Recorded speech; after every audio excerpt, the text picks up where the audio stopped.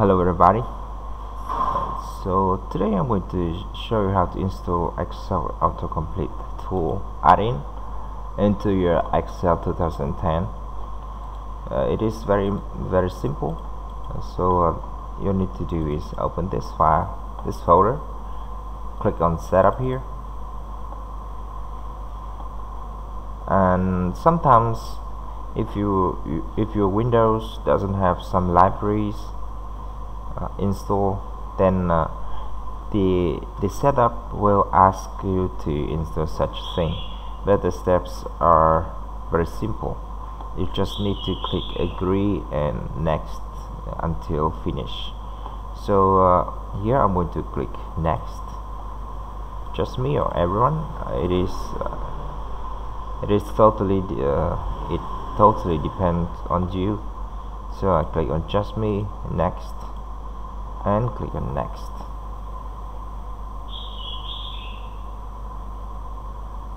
And we will wait for a while for the installation to complete.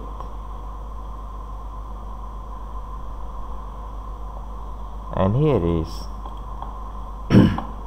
Now we'll start Excel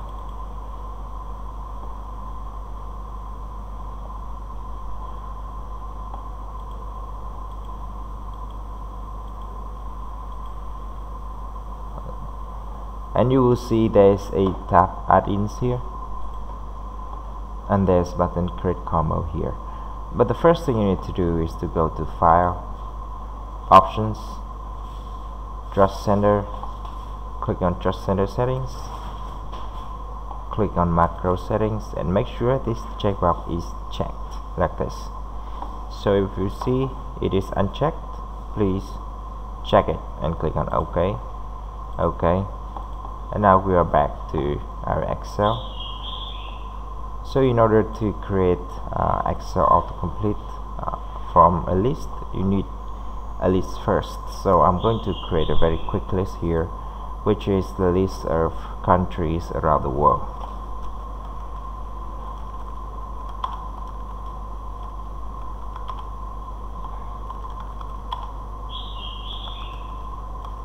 Something like that and we need to give this list a name. Uh, this is we call a range. So uh, I select all the items in the list and click on the address box here and give it a name like countries and click on enter. And that's it. We have defined uh, a name for our range or our list.